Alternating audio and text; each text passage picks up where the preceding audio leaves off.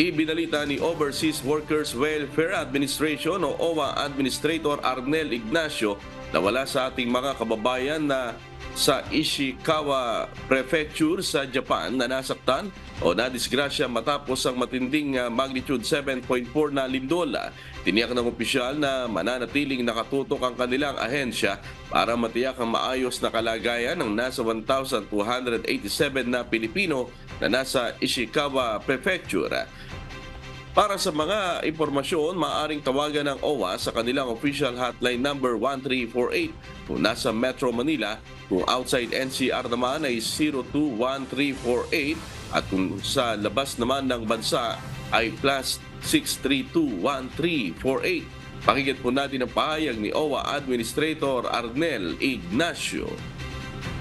Ah, dito po sa nangyaring lindol sa western part ng Japan, sa Ishikawa Prefecture, gusto lamang po namin ipahatid sa inyo na we are in full coordination at ah, so far wala naman po tayo mga ah, natatanggap na reports na meron po tayong mga nadisgrasyang mga kababayan.